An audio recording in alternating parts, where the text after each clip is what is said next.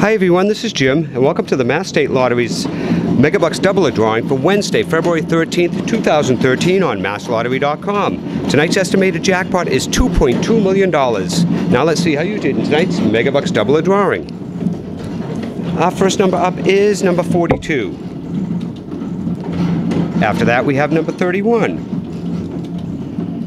And here comes number 18. After that is 20. Up next is 3. And the final ball in this sequence is number 23. Once again, the winning Megabucks doubler numbers for Wednesday, February 13th are 3, 18, 20, 23, 31, and 42. Remember to log on to masslottery.com, Facebook, and Twitter to watch all of the Mass State Lottery's drawings. Good night.